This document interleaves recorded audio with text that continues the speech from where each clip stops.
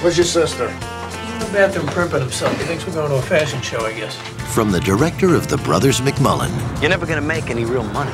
Look at you. You make a pile of dough and you're miserable. Hey, I'm not miserable, okay? I'm dissatisfied. That's what makes me a success. comes a comedy about two brothers What the hell are you doing? I got married.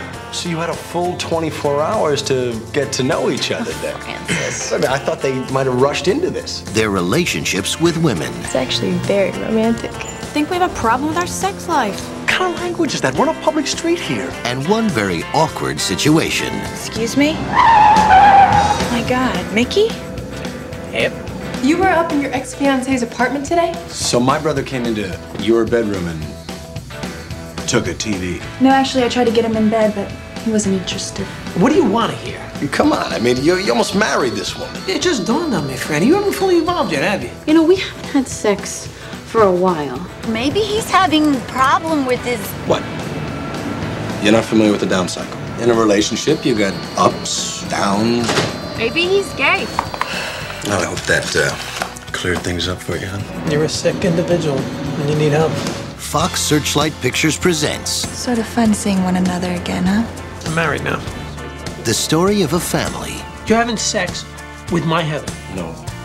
My head. where men are men We've tried to turn our entire lives into a competition. All right, no punching below the belt, no kicking, and Francis, no biting.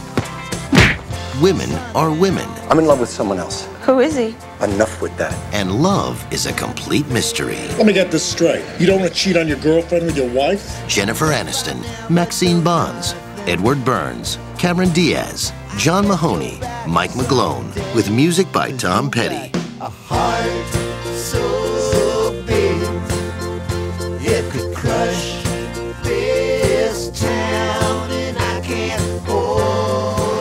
Your father scares me. I don't think he likes me. She looks like she's from one of the islands.